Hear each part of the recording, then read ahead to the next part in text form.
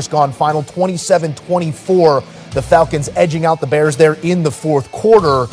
More good stuff out of Justin Fields, but not equaling a W, and that's been the story for the Bears, who, if there's a silver lining, well, it's the draft pick.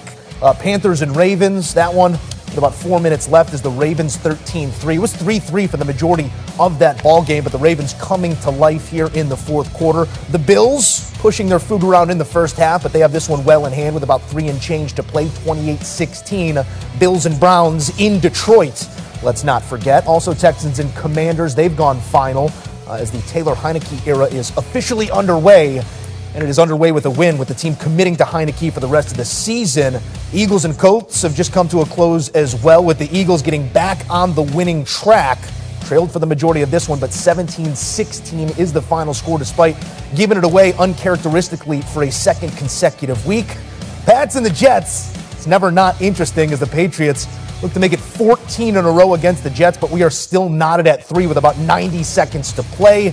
Uh, the Rams and the Saints, that was a game that happened, and that's all you need to know. 27 to 20. Matthew Stafford did enter the concussion protocol in that one. And it's the Giants getting handed a loss by the Lions, or close to it at least, with four minutes to play and a couple scores between them. All right, Rick Spielman, Tyler Sullivan in the mix here to break down some of what we did see. And let's begin with the Eagles who just about 10 days ago were this unstoppable force and an immovable object, guys. But here they look human once again, although it does come in a win. Rick, I'll go your way first here. It is a W, and when you're in that situation, do you essentially wipe clean what we just saw and say, hey, nine and one, let's move forward? Or are there things that do need to be addressed here immediately? Yeah, no, I think that they're they're playing well uh, today. The one thing that I did notice, and I wanted to see when they were down and behind, Jalen Hurts, was he good enough to bring them back on the road against an Indianapolis, an inspired, I should say, Indianapolis Colts team? And what a job Jeff Saturday's doing. But I don't. They've always been when they were going undefeated. Uh, they were always leading or controlling the game. This is the first time that I've seen Jalen Hurts actually on the road in a tough circumstance come back and lead that team to a victory. Yeah, I'll echo what Rick said just there. It is credit to J- Jalen Hurts to be able to will his team back on a game where they really had no business of winning against the Indianapolis Colts. As crazy as we may say, they had no business winning against the Jeff Saturday led Colts, but that's exactly where they were. Three points going into the fourth quarter, really uninspired football. To me, the biggest issue for this team over the last few weeks, and that includes the loss against Washington, but you can even go back to that Thursday game against the Houston Texans, they seem to be playing down to their competition position. They get kind of beat up a little bit in terms of running the foot or stopping the run. You saw it with Jonathan Taylor a little bit today. You've seen it over the last few weeks, whether it's Brian Robinson or you go all the way back to Dameon Pierce. They are getting moved around a little bit on the defensive side of the ball. They need Jordan Davis back on that defensive front. He's somebody that is going to be critical for them in the postseason when he gets back healthy. But like you said, credit to Jalen Hurts for able to get that 14 points in the fourth quarter, score that go ahead touchdown. To me, that's encouraging when you see the development, the continued development of Hurts. But to me, the bigger picture question about this Philadelphia team is are they able to extend? Are they able to use what their talent ceiling is and go and beat up against these bad teams? So mm-hmm. far, the last few weeks, they kind of play down to that competition. A win is a win, and they are 9 and 1 on the season, which is nothing to scoff at here, Tyler. But you mentioned it there. The way you win against lesser teams might tell you something about the road ahead. So, with that in mind, what is the message from Nick Sirianni as he, as he tries to get his team to play back to that ceiling that they've already established being a very high one.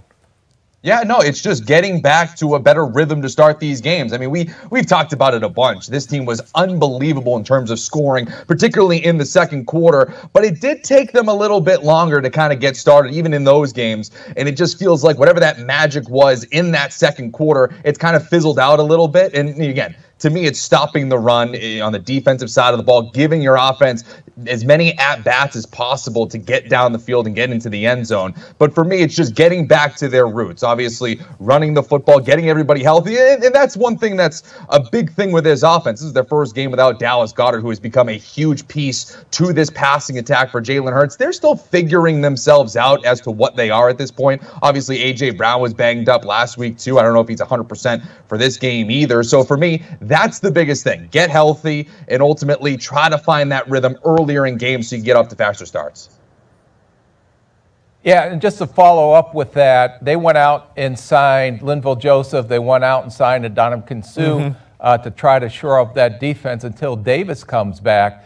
But when Philadelphia is the deadliest is when they can get that big lead and then let them pass rushers go after the opposing quarterback and then game over. But they have to solidify the run defense. They tried to do that with the two signings this week to hopefully put a little band aid over that defensive front uh, versus the run until they can get Jordan Davis back. All right, we got plenty of other action to bring your way here as they're coming fast and furious. We'll have all the highlights here throughout the hour as we take a look at the fantasy performers here out of this uh, less than stellar Eagles performance, but 9 and 1 is 9 and 1. Jalen Hurts held under 200 yards through the air, did have one touchdown, uh, rushed it for another 86. And it's interesting if you look at some of those dominant performances, Hurts is turning into more of a pocket type, and the rushing yards had waned. And here's some struggles as he does amass near 100 on the ground. Matt Ryan and Jeff Saturday's Colts just not doing enough, getting edged out by one point here as Jonathan Taylor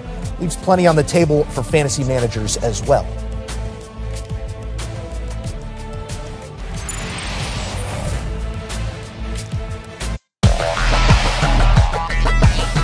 Let's get you up to speed with your HQ headlines, beginning in the college ranks, where after defeating UCLA 48 to 45, USC moved up to the number five spot in the latest AP poll. It's the first top five ranking for the Trojans since 2017. The top four did remain unchanged, with Georgia receiving 62 of the 63 first place votes. Tennessee, after getting blown out by South Carolina, dropped from fifth all the way down to ninth.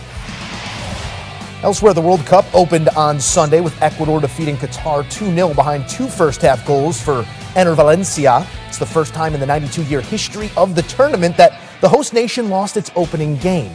Valencia struck first on a penalty kick and put the match away in the 31st with a header. In the association, Kyrie Irving has been cleared to make his return tonight for the Nets against the Grizzlies. This comes according to Yahoo Sports. He's completed each required step to end his team imposed suspension for promoting an anti Semitic film on social media. Kyrie spoke to the media earlier today, apologizing again and reiterating that he is not anti Semitic. And in the NFL, free agent Odell Beckham Jr. plans to visit the Giants and the Cowboys after Thanksgiving. This comes according to NFL Network. The Giants drafted Beckham back in 2014. He spent the first five years of his career in New York, while the Cowboys and owner Jerry Jones have made it clear that they'd like to have OBJ in Dallas. Beckham is in the final stages of his recovery after tearing his ACL in last year's Super Bowl. And with that, we say hello and welcome to CBS Sports HQ. Another jam packed Sunday coming your way, and it's the NFL. So everything you thought you knew, forget it. Let's take a look at some of the scores here as the